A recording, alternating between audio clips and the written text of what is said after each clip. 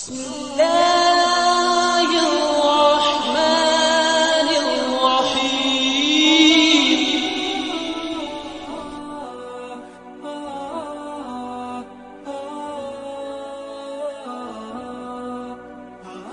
شروع اللہ کا نام لے کر جو بڑا مہربان، نہایت رحم والا ہے، ہم نے اس قرآن کو شب قدر میں نازل کرنا شروع کیا और तुम्हें क्या मालूम कि शब कद्र क्या है?